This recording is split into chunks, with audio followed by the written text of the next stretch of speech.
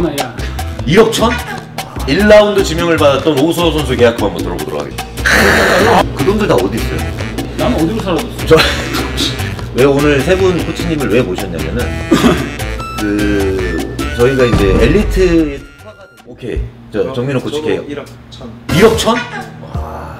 1라운드 지명을 받았던 오수호 선수 계약금 한번 들어보도록 하겠습니다. 그럼 뭐 1억 8천.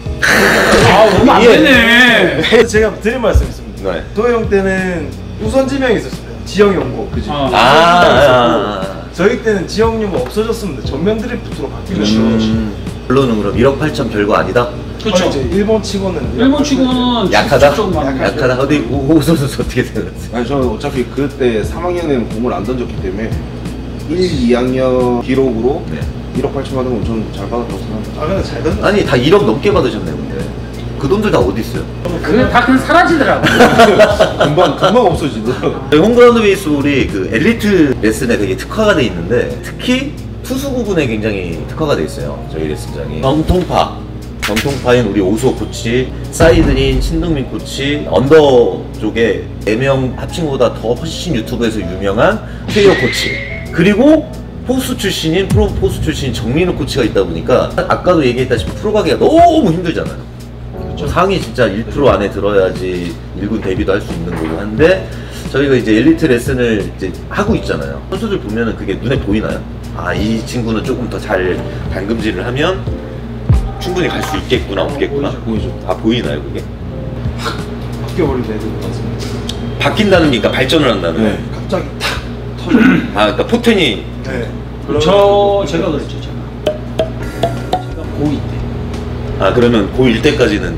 진짜 저를 아는 사람들 다 알 거예요. 뭐 선수 아니었죠. 아니, 성남고 그러면 그 당시에 동기들 중에 프로 간 선수가 또 있나요? 없어요. 와. 한 명 있긴 하는데 뭐 동기라고 하, 기도 뭐한 게 1년 유급해가지고. 음, 그러면은 와 진짜 제대로 포텐 떠진 거죠. 완전 꼴찌에서 저는 오버, 원래 오바투수예요 네, 홈런 얘기 한번 해볼까요? 그 지금 오- 지난번 저희 자체 청구전 때 1회 첫 타석에 네. 계속 뽕뽕 던지시더라고요. 네 아니 그러니까 제가 기억이 정확히 나는데 오수호 선수가 일부러 일부러 살살 던지는 게 느껴졌어요 저도. 그러니까 승부를 막 직구를 막 세게 던지는 게 slow 아니라 start 저는 slow start. 그렇죠. 어, 좀 늦게 좀 몸이 풀리는 스타일이긴 한데 또 변하고요. 어, 근데 또 쳤는데 와, 새까맣게 날아가네. 아니 홈런을 안 주려고 지금 그 홈런을 딱 맞았어요. 어땠어요?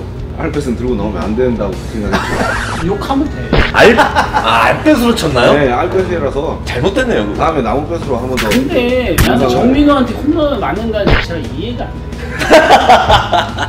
나는 아시는 사이 하고 막 스모 많이 했는데 홈런 한 번도 안 맞았어요. 한 번도 못 쳤나요? 타율이 너무 좋습니다. 타율이 뭐가 좋아? 까봐. 타자보다 말이 많아.